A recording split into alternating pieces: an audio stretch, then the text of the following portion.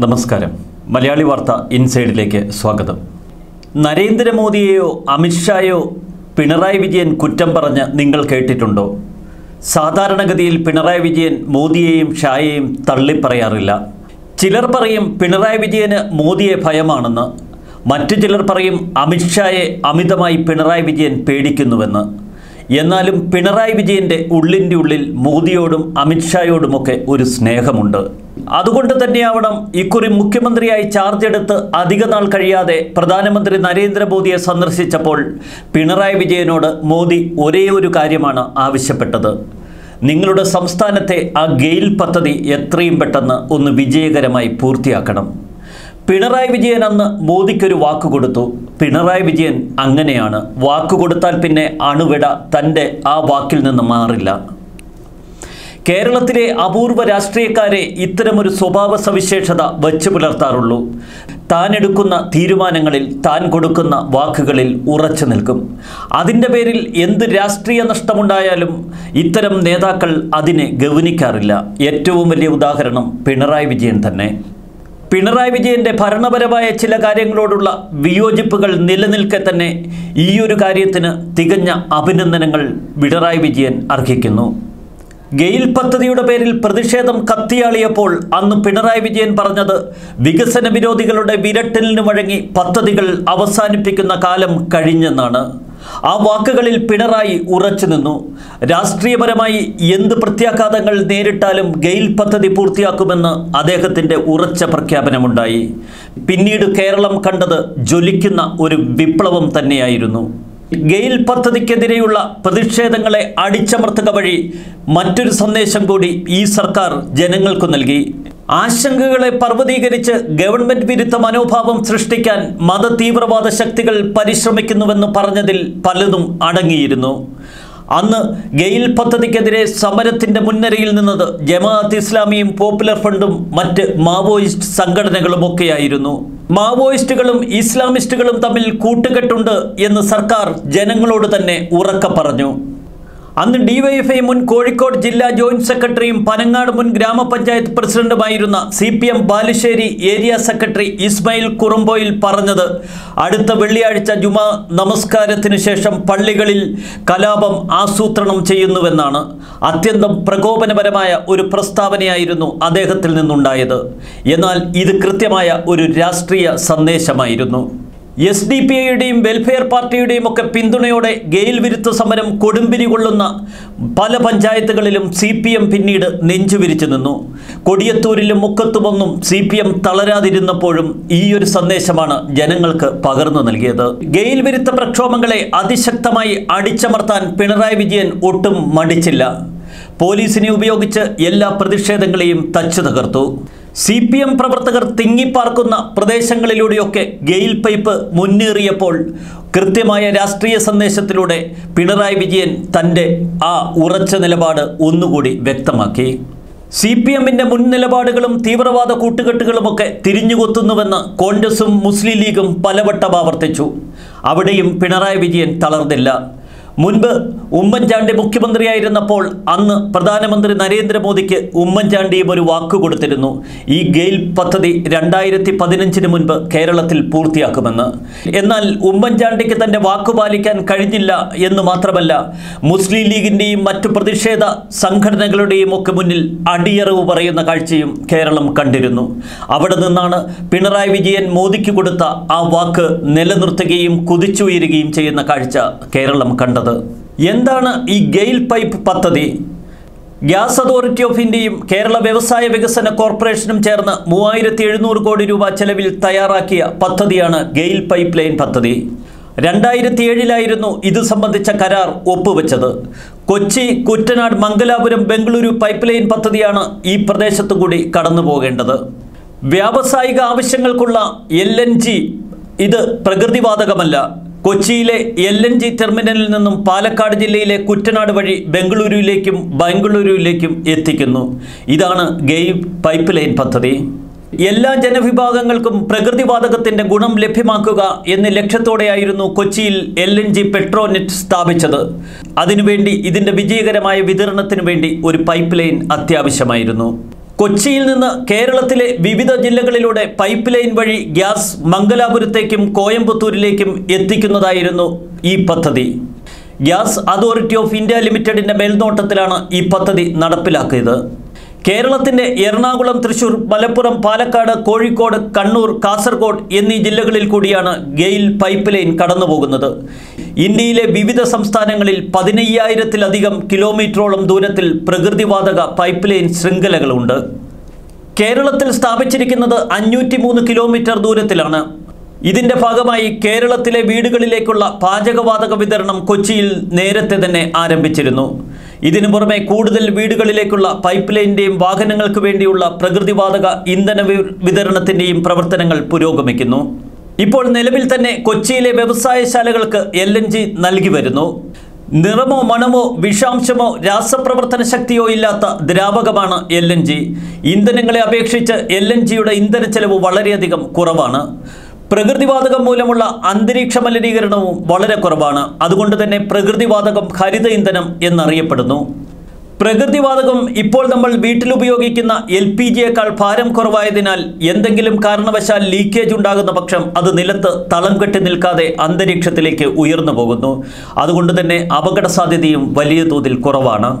ഈ പ്രകൃതിവാതകം മൂലം മണ്ണിന് യാതൊരുവിധ കേടുപാടുകളും ഉണ്ടാകുന്നില്ല. പ്രകൃതിവാതക വിതരണത്തിലൂടെ കേരള സംസ്ഥാന ഖജനാവിലേക്ക് പ്രതിപക്ഷം ആയിരം കോടി രൂപയോളം വരുമാനമാണ് പ്രതീക്ഷിക്കുന്നത്. ഒരു തരത്തിൽ പറഞ്ഞാൽ വിജയകരമായി പൂർത്തിയാക്കുന്ന ഒരു പദ്ധതി തന്നെയാണ് ഈ ഗെയിൽ പൈപ്പ് ലൈൻ പദ്ധതി. ഈ പദ്ധതിയുടെ എല്ലാ ഘട്ടവും പൂർത്തിയാക്കുന്നതോടെ വരുമാനം പല മടങ്ങ് വർദ്ധിക്കുമെന്നാണ് പറയുന്നത്. കേരളത്തിലെ വ്യവസായശാലകളുടെ ഇന്ധന ചെലവ് കുറയ്ക്കാൻ ഏറ്റവും അനുയോജ്യമായ പദ്ധതി. കൊച്ചിയിലെ പോലെ തന്നെ പൈപ്പ് ലൈൻ കടന്നുപോകുന്ന എല്ലാ ജില്ലകളിലെയും ജനങ്ങൾക്ക് വ്യവസായശാലകൾക്കും പ്രകൃതിവാതക വിതരണം ചെയ്യുന്നതിനുള്ള സിറ്റി ഗ്യാസ് ഡിസ്ട്രിബ്യൂഷൻ പദ്ധതിയും ഇതോടൊപ്പമുണ്ട്. ഗെയിൽ പൈപ്പ് ലൈൻ പൂർത്തിയായതോടെ വാഹനങ്ങൾ വഴിയുള്ള പെട്രോളിയം ഉൽപ്പന്നങ്ങളുടെ നീക്കം ഒരളവ് വരെയെങ്കിലും കുറയ്ക്കാൻ സാധിക്കും. ഇതുമൂലം റോഡുകളിലെ അപകടങ്ങൾ ട്രാഫിക് പ്രശ്നങ്ങൾ വാഹനങ്ങളിൽ നിന്നുണ്ടാകുന്ന വായു മലിനീകരണം എന്നിവയൊക്കെ വൻതോതിൽ കുറവ് വരും. പത്ത് മീറ്റർ വീതിയിലൂടെയാണ് പൈപ്പ് ലൈൻ കടന്നു പോകുന്നതെങ്കിലും ഇരുപത് മീറ്റർ സ്ഥലമാണ് സ്ഥലവാസികളിൽ നിന്ന് സർക്കാർ ഏറ്റെടുത്തത്. കരഭൂമിയായുള്ള മുന്നൂറ്റി എഴുപത്തേഴ് ഏക്കറും തണ്ണീർത്തടമായി എണ്ണൂറ്റി എൺപത് ഏക്കറും അങ്ങനെ മൊത്തം ആയിരത്തി ഇരുന്നൂറ്റി അൻപത്തിയേഴ് ഏക്കറാണ് കേരളത്തിൽ നിന്ന് ഏറ്റെടുത്തത്. ഗെയിൽ പൈപ്പ് ലൈൻ പദ്ധതിയുടെ പ്രാധാന്യം മനസ്സിലാക്കിയ മുഖ്യമന്ത്രി പിണറായി വിജയൻ നേരിട്ട് തന്നെ യോഗങ്ങൾ വിളിച്ചിരുന്നു.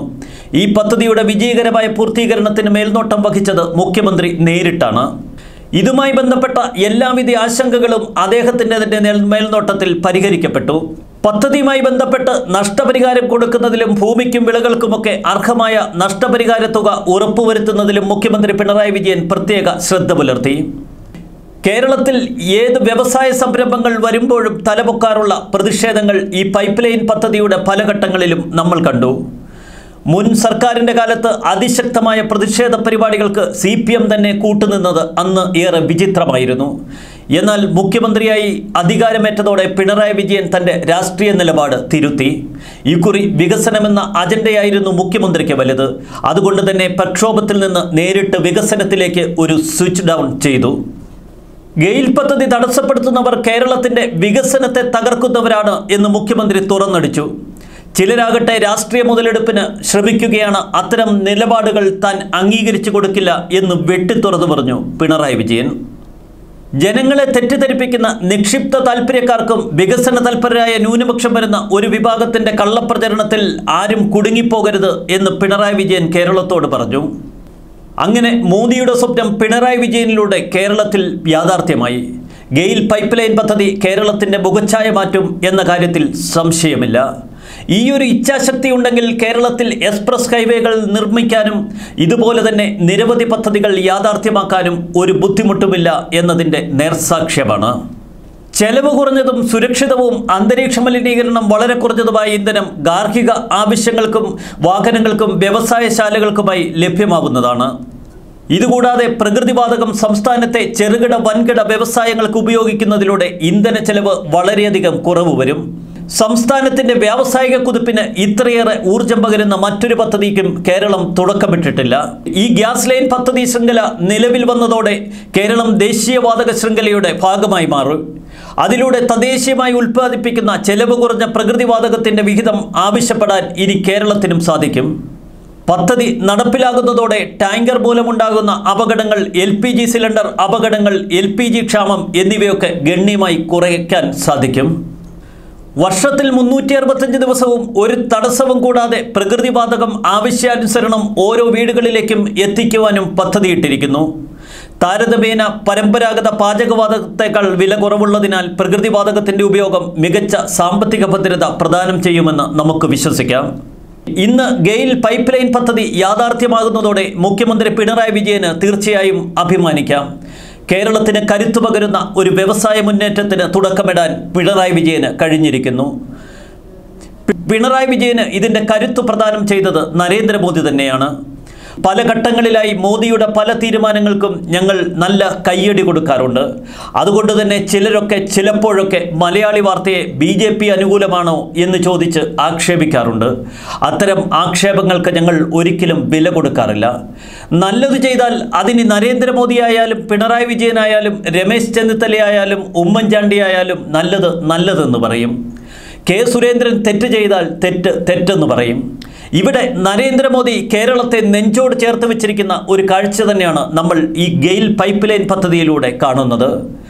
മോദിക്ക് കൊച്ചിയിൽ നിന്ന് വികസനം മംഗളൂരുവിൽ എത്തിച്ചതിൽ അഭിമാനിക്കാം.